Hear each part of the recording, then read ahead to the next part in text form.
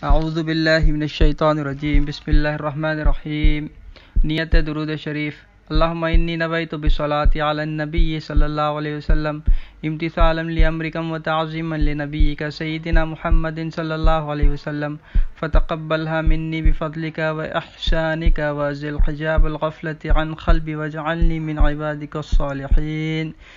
اے اللہ، میں نے نبی کریم صلی اللہ علیہ وسلم پر درود کی نیت کی ہے اور آپ کے حکم کی تعمیل میں اور آپ کے نبی ہمارے سردار محمد صلی اللہ علیہ وسلم کی تعظیم کی غرض سے آپ اپنے فضل احسان سے اس درود کو میری طرف سے قبول فرمائیے اور میرے دل سے غفلت کا پردہ اٹھا دیجیے اور مجھے اپنے نیک بندوں کے زمرے میں شامل کر دیجیے۔